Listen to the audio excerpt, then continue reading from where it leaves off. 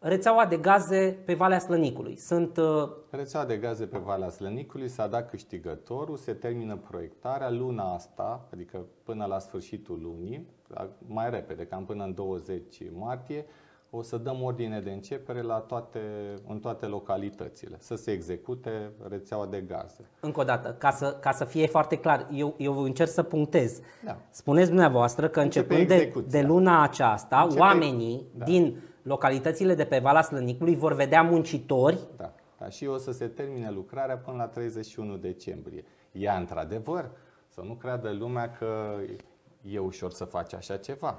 Că până la urmă nu s-a făcut în atâția ani, tocmai că este multă muncă. Și doar să vă dau un exemplu, Vă ca rog. să înțeleagă și oamenii.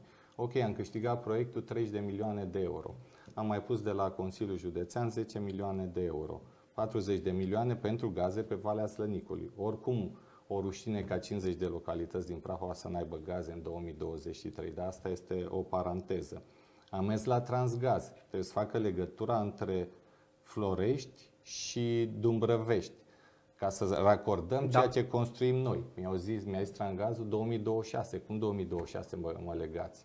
Atunci am luat noi, am chemat proiectantul, am chemat constructorul, facem o dispoziție de șantier și legăm noi uh, Floreștiul de Dumbrăvești și închidem toată asta.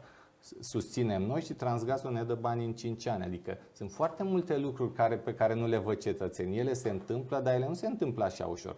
Te duci, bați cu pumnul în masă acolo, vorbești dincolo și așa se întâmplă lucrurile în șapte luni de zile. Totuși, domnule Le Dumitrescu, garantez la oameni că în decembrie o să fie închisă povestea cu gazele pe Valea Slănicului. este un termen foarte scurt. Nu știu cine a câștigat, uh, uh, m, cât de puternică este firma care a câștigat licitația, dar mie mi se pare totuși că 300 și ceva de kilometri de gaze într-un timp atât de scurt este misiune imposibilă în România. La cum se lucrează în România? Ok, există și exemple pozitive, da, dar totuși trăim în România. Chiar va fi firma în stare să, să uh, își respecte contractul asumat cu Consiliul Județean Prahova? Sunt sigur că va fi. Până la urmă, uh, e un contract asumat, uh, firma s-a angajat că termină până atunci, noi suntem destul de fermi. Eu uh, v-am mai zis, cred că puțin înainte, în general e bine când câștigă licitația cea mai bună firmă care participă. La noi nu se întâmplă decât așa. Nu avem uh, prieteni, nu avem uh, nu favorizăm pe nimeni din jurul nostru, noi mergem cu cea mai bună firmă și atunci cea mai bună firmă este și cea care în general e în stare să facă lucrările. Adică licitația este câștigată pe corect, nu de firme de partid. Nu există, da, da. Nu Bun. există la noi la Consiliu. A spus-o dumneavoastră. Ca să zic fără așa, să fie... ca să zic așa încă o premieră. Nu eram obișnuiți cu, Oricum, cu doar- firme care n-aveau decât doi muncitori sau un Trei sediu muncitori, social. șapte muncitori. Exact.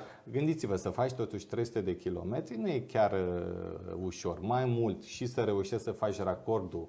Transgazul ne-a zis prim- prima dată 2026. Eu zic, cum 2026? Adică eu termin în 2023 și voi faceți până în 2026, că așa se mișcă Lucrurile, lucrurile în România. Și atunci nu, Bun. atunci facem noi. Domnule o să fie Dumitrescu, în regulă. Dar asta. veți, veți merge pe șantier pentru că vrem, nu vrem, um, Lunar. prezența, prezența autorității contractante, să spunem așa, pe șantier este un factor de imbolt pentru muncitori, șefii lor și așa mai departe. E o condiție necesară ca să se termine până în decembrie. Adică dacă aș da ordinele de începere și nu m-aș mai duce până în decembrie până acolo sau n-aș monitoriza tot Da, ați putea avea surpriza că S-ar din 300 mai- de știți kilometri cum s-au este, băgat doar da, 10%. Adică să nu ne amăgim, dar uh, sunt hotărât ca lucrurile să se închidă până la 31 decembrie și o să vedeți din felul meu de a mă comporta și de a mă deplasa acolo.